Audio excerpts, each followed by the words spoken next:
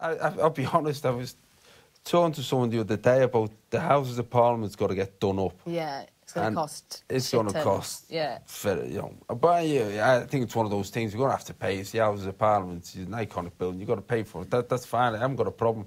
But I said what would be great is if they moved it temporarily around the country.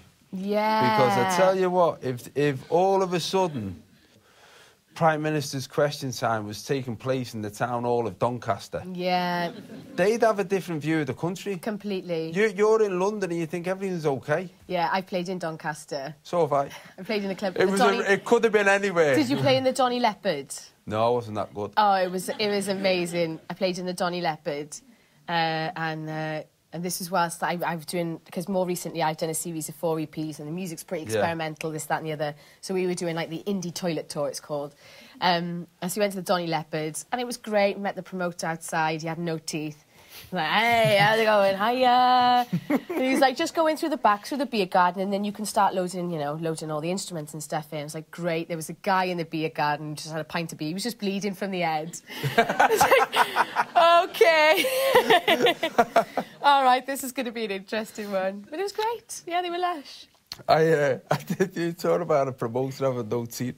I did a gig in Ireland in, uh, in Galway. Yeah. And uh, and there was a stage manager, and he, he literally someone said, "Go in, just ask Boiler what time you're on." I thought, oh, it was a funny name. That is Boiler. Yeah. And I, I went in. It was a it was a bald fella. You know, one of those. Like there's a factory somewhere making these bald men, with all scrunts.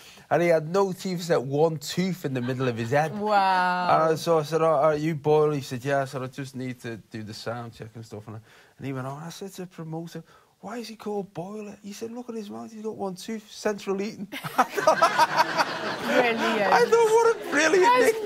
nice. That's People the best nickname I've ever come across. I mean, I've, I've, I love the music. I always loved the music. And when I was doing classical stuff, I, I got to travel around the world and sing with like incredible orchestras everywhere, which is an amazing feeling. The music was never a problem, and I loved that. It was all the rest of it. It was just, Yeah. you know, sort of being on TV and doing photo shoots. And